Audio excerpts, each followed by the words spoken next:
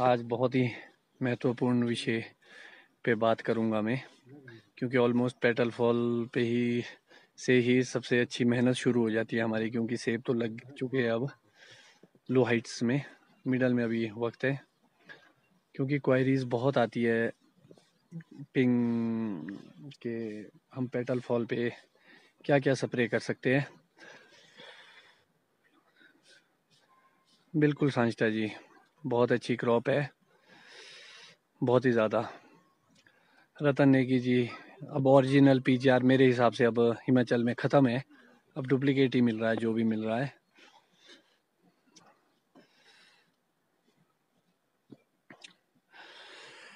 तो I think मुझे लगता है कि अब शुरू कर देना चाहिए हमें। आज का जो पर्पज़ है।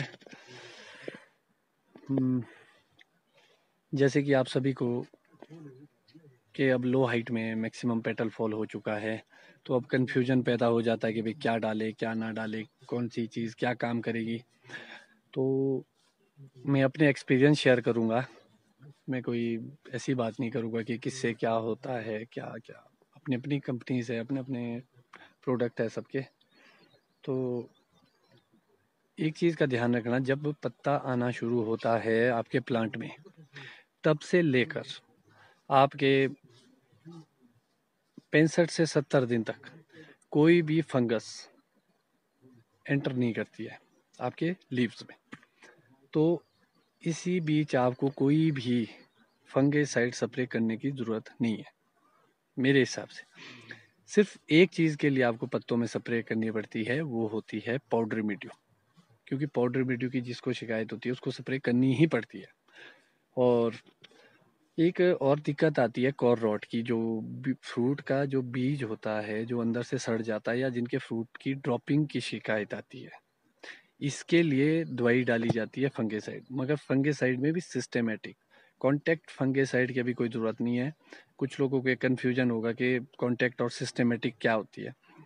कॉन्टैक्ट फंगेसाइड, सिंपल भाषा में आपको समझाओ जो डाइथीन होती है वो कॉन्टैक्ट फंगिसाइड होती है और जो बेबिस्टीन होती है वो सिस्टेमेटिक होती है। जब भी आप दवाई खरीदे, उसके ऊपर लिखा होता है सिस्टेमेटिक और कॉन्टैक्ट दोनों दवाइयाँ मिक्स करके पड़ती है, मगर अभी नहीं पड़ती है, क्योंकि अभी आप जितना ज़्यादा स्प्रेज करेंगे, उतनी ज़्यादा रसेटिव होगी आपकी रस्टिंग आएगी आपकी ज़्यादा से ज़्यादा। तो ख़ास तौर पर अभी आप फ़िलहाल पाउडर फॉर्म से बच सकते हैं स्प्रे से, और आपको हर स्प्रे में स्टिकर डालने की ज़रूरत है। कोशिश हो तो आप सिलिकॉन बेस्ड जो भी स्टिकर्स स्टूमिलेटर आते हैं, आप उसका यूज़ कर सकते हैं। तो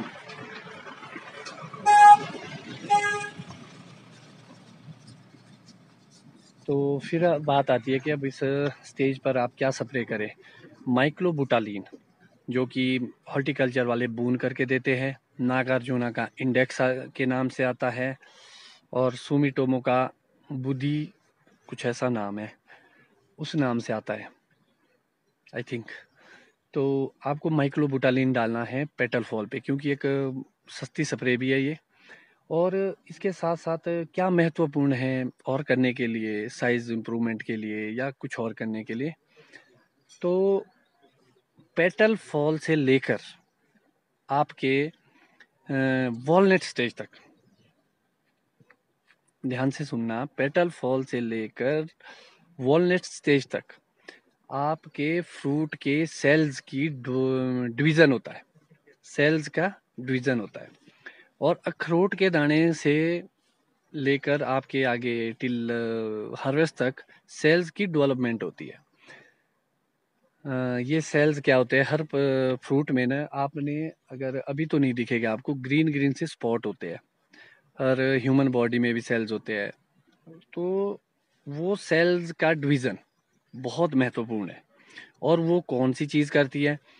मैक्सिमम जिन लोगों ने पीजीआर डाला है पीजीआर आपके प्रोमिलिन परलान जो भी डाला है आप लोगों ने, उसमें सिक्स बी होता है। वैसे तो स्पेशल सेल डिवीज़न के लिए फॉरन में सिक्स बी मैक्सेल आता है एक फाइन एग्रोकेमिकल का। स्पेशली वो डाला जाता है, क्योंकि उससे बहुत अच्छा सेल का डिवीज़न होता है। तो अब चलो, वो फैसिलिटी हमारे पास नहीं है। जिन्होंने प्रोमोलिन पर लैंड डाला, उसमें भी सिक्स बी है, वो भी काफ़ी अच्छा सेल डिवीज़न करता है। इसके साथ साथ जो हमारे पास अवेलेबल है हमारे इंडिया में हम क्या क्या डाल सकते हैं? नाइट्रोजन बहुत अच्छा सेल का डिवीज़न करता है। सबसे महत्वपूर्ण जो पार्ट होता है या न्यूट्रिशन में, वो होता है कैल्शियम मैक्सिमम लोगों की धारणा कि कैल्शियम साइज़ रोकता है। याद रखना कैल्शियम साइज़ नहीं रोकता, बल्कि साइज़ बढ़ाने में मदद करता है। सेल्स की बॉन्डिंग सेल्स को जोड़ के रखता है। आ, साथ के साथ सेल डिवीज़न में मदद करेगा आपके कैल्शियम और जिसके खास तौर पर ड्रॉपिंग की शिकायत आती है सन बर्न की शिकायत आती है उसके लिए भी कैल्शियम बहुत ही ज़रूरी है। तो मगर एक महत्वपूर्ण बात इसमें समझने वाली है कि कैल्शियम वर्किंग कैसे करता है? कैल्शियम आपके बोरोन के साथ वर्क करता है। ऐसा नहीं कि सिंगल नहीं करता है सिंगल करता है। मगर आ, सिंगल वो बड़े स्लोली काम करता है। जब उसके साथ बोरोन डाला जाएगा तो वो बहुत ही अच्छा काम करेगा। ट्रेड क्रॉप का एक कैलीटेक करके आता है एक प्रोडक्ट ट्रेड क्रॉप कंपनी का। उसमें एक अच्छे कॉम्बिनेशन में दिया गया हर चीज़। और कॉम्पो का कैल्प प्रीमियम और एक और प्रोडक्ट है उनका। कैल मैक्स कुछ ऐसा है। उसमें भी कैल्शियम, बोरोन और मैग्नीशियम है। वो भी बहुत अच्छा प्रोडक्ट है। चलो वो कैटेगरी में मैं नहीं बांटूँगा। कौन सा आपके पास जो अवेलेबली जल्दी और इजीली मिले वो ज़रूर डालना। और जब भी कैल्शियम डालना विद बोरोन डालना, क्योंकि अभी का, अभी से कैल्शियम की स्प्रे शुरू करनी है। फिर एक बात आएगी कि किस डोज में, अगर तो आप सिंगल डाल रहे हैं, कोई भी कैल्शियम। तो आपको 30 या 40 ग्राम से शुरू करना है। और हर स्प्रे में कैल्शियम कोई डालना है आपने। और कोशिश हो उसके साथ बोरॉन डाले। अगर कोई ऐसा प्रोडक्ट आपको मिलता है जिसमें दोनों चीज़ें हो, कैल्शियम प्लस बोरॉन तो वो ज़्यादा अच्छा है। ऑलरेडी बनी बनाई प्रोडक्ट ठीक रहते हैं, क्योंकि मिक्सिंग में, रेशो में हम गड़बड़ कर देते हैं। और एक चीज़ का महत्वपूर्ण बात है जो आप स्प्रे करते हैं उसमें ड्रम में पानी का रेशो। मैक्सिमम हमारे ड्रम 220, 30, 40 लीटर तक होते हैं कई ड्रम्स। तो हमने तो पहले तो ये आइडेंटिफाई करना है कि जो आप पानी मिला रहे हैं उसका वॉल्यूम सिर्फ़ 200 लीटर हो। एक मार्क करके नाप निशान लगा दो। हमेशा पानी कभी ज़्यादा नहीं डालना।